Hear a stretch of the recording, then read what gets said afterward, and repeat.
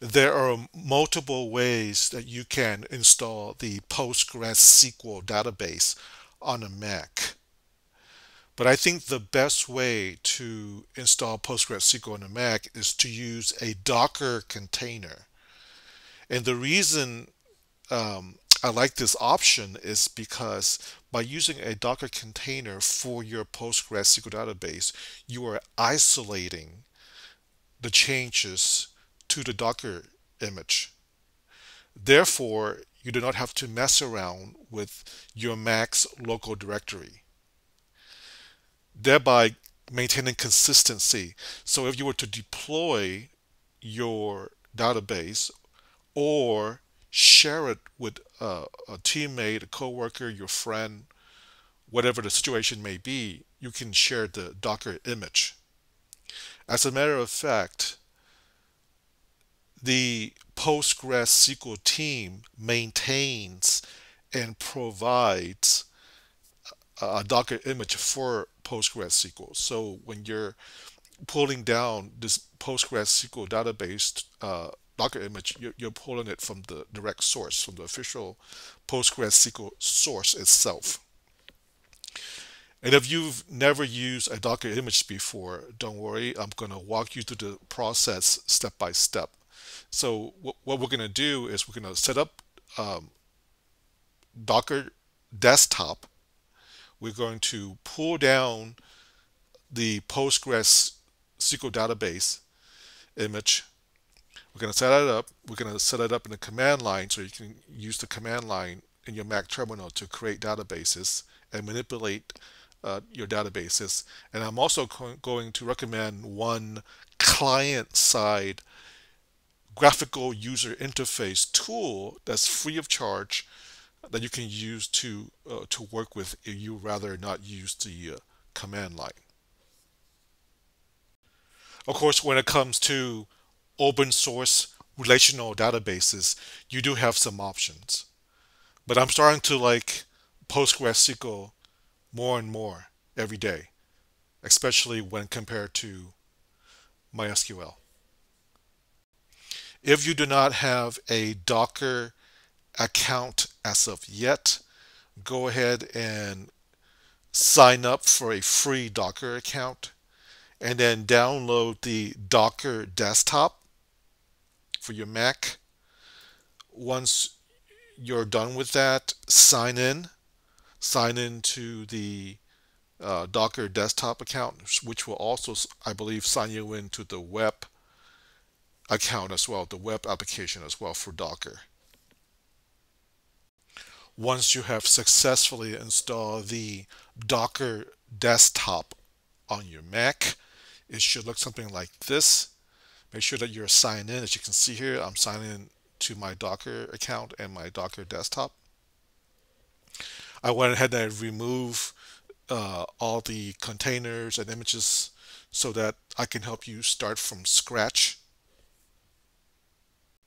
we will be needing the Mac's terminal for this tutorial because we will be issuing a series of Docker commands and then later on we will be we will be issuing some PostgreSQL command from the command line. Now I will explain what all the commands means and all the flags that goes with each command. But if you want to have a deeper understanding uh, of what the Docker commands means and other flags that goes with it, have a look at this documentation. It really is wonderful documentation provided by Docker. Uh, probably some of the best documentation in the industry. I will provide you with the link in the description of the video. The first command that we are going to issue in the Mac's terminal is the docker pull command. I'm going to paste this in so that you don't have to watch me type, which is insanely boring, especially in this context. So docker pull is to pull down Docker images. Postgres is the official name of the Docker image for the Postgres database here. Now let's bring in the Docker hub here. So once you sign in, you will have access to this repository of the various publicly available Docker images. So we were to search Postgres, okay, voila, this is the official Docker um, image for Postgres SQL. And it even shows you the command to pull down this package. Okay, I've already checked for a Taylor Swift package, but there isn't one here. Just FYI. So that's what we're doing here. Okay, now execute the command.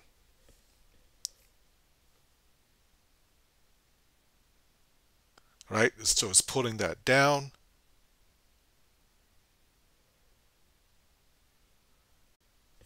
So it's done pulling down the database to our local directory.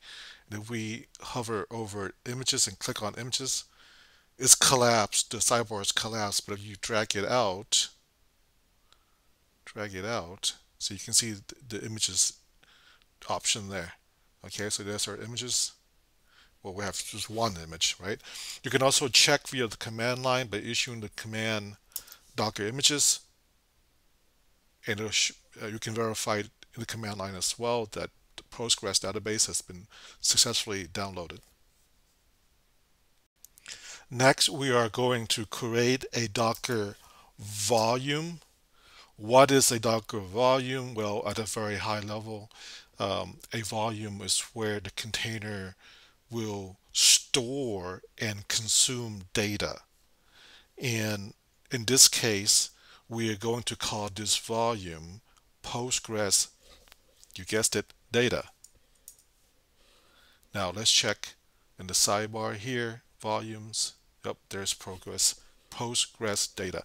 Again, if you want a deeper a deeper dive into these commands, peruse the outstanding documentation that Docker provides us.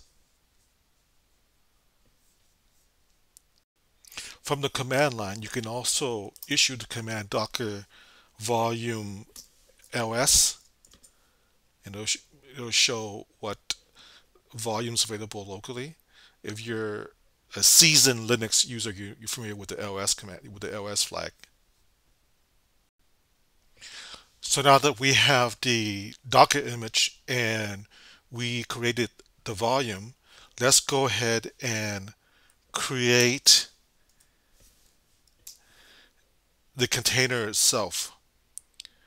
I'm going to explain what these flag means. Okay, so we are going to create a container called Postgres container.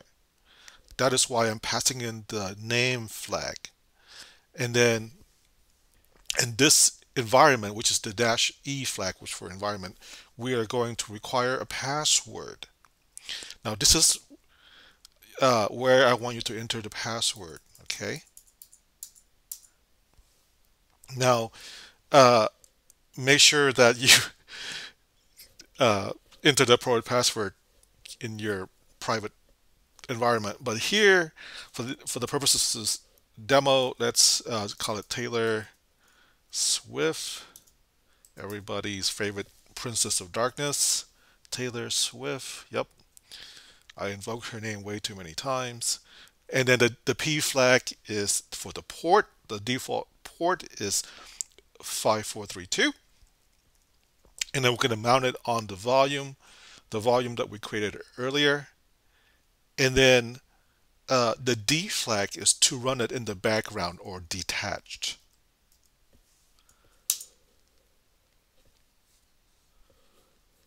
Okay, that's that was successful. As you can see there, let's see here, volumes, container, there's our container running. Okay, now we can issue the command docker ps to check. Yep, it's up and running. Okay, it's as easy as that. Now, I've been harping on the documentation a lot. We're going to visit the documentation page one more time. I promise this will be the last time. Now, to understand how these command works, so if you go down here, okay, you can see the, the various commands on here. And then you click on, say, docker run, it'll show you what each flags are for. Okay, the same thing with Docker. Let's say you want to know all the flags that are available for Docker execute command. Okay, those are all the flags available for Docker execute. Okay, so that's how you um, read these documentation for how the command works. Okay. So now that we have our database running in the background, let's go ahead and connect to it by, by uh, issuing the execute command.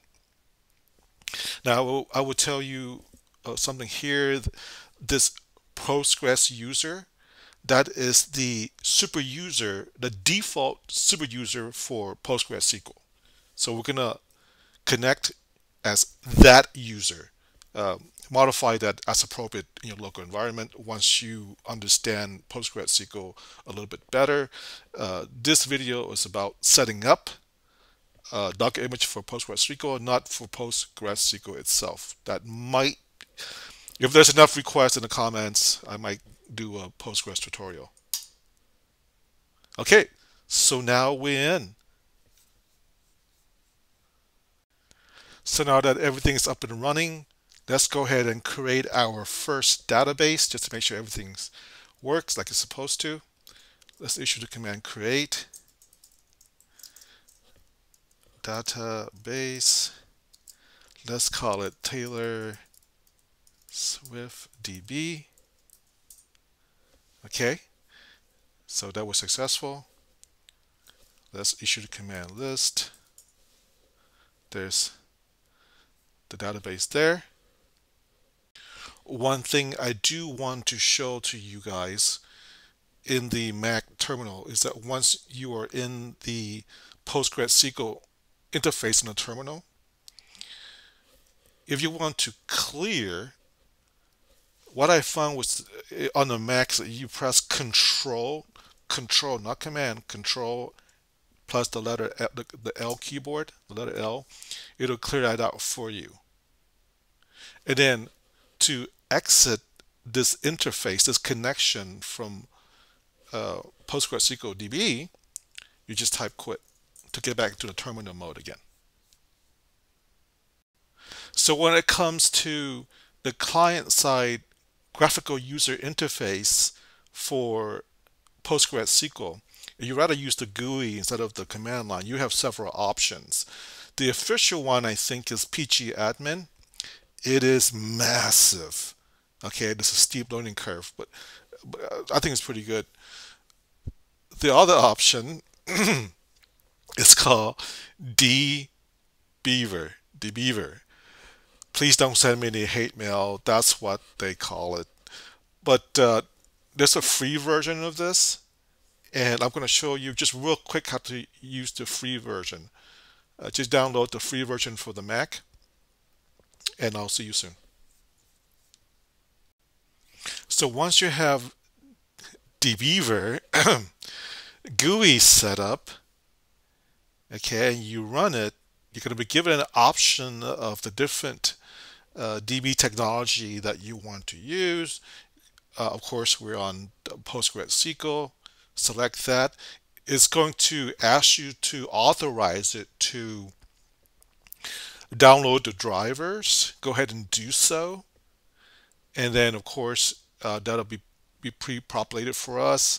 Localhost um, port is 5432. Now, if you recall earlier, I created a database named Taylor Swift DB that's the database that I want to connect to. Obviously, if you refuse to invoke the Princess of Darkness name, uh, you have to enter the appropriate database name there for uh, for yourself. Uh, if you also recall, I uh, also created a, a, password called Taylor. Let me spell this correctly. T A Y Taylor Swift. Okay, save the password if you wish. Now test the connection. See, connection is good. It's connected. Click OK. Finish and there we have it. I can I connected to this earlier off screen. So anyhow, so we're connected uh, to Taylor Swift DB or whatever uh, whatever you call yours. Sorry. Uh, and then from here, if you right click on the topmost level and you right click, you get the SQL editor. You open the SQL script there and you're off to the races with your SQL command. Okay. Um, that's pretty much it. Let's see what else I need to tell you. I will make sure to include all the links in the description for you. Um, I am going to come back and show you how to remove all of this in case you don't like PostgreSQL. Okay, I'll see you right. I'll see you soon. I did mention earlier in the video that Docker was, was running uh, in detached mode. Uh, for us to stop that, we can issue the command docker stop postgres container and it will stop running for us as you can see there on the left. Okay, so let's say that in a parallel universe, you love Taylor Swift, but you hate PostgreSQL and you want to remove the images. So what you can do is issue the docker remove Docker removes Postgres container uh, because that is the container that we named it. All right, so now the container is gone. And then you want to remove the image. What we can do is we can issue the command docker RMI because remove image, Postgres. So that's deleted as well. Okay. And now let's go ahead and remove the volume. Remember the volume, we call it Postgres data. And so remove Postgres data. That's remove as well. So we're looking at our GUI. Everything is gone. Okay. Everything except the memory of Taylor Swift, right? Oh, gosh. Uh, okay, so let's just do a Docker images to make sure that everything's gone. Up, it's all gone. Let's do, obviously, if there's no images, but let's just run the ls, just, ls command just for kicks. No volume, okay, that's gone as well. And obviously, if that's gone, then obviously Docker PS won't do anything other than show us that everything's gone. Okay? There. So we did everything and then we reverse everything. Um, I would really appreciate it if you show me some love by subscribing to my channel if you're not a subscriber already and giving it the like. Okay, that's all for now. I'll see you next time.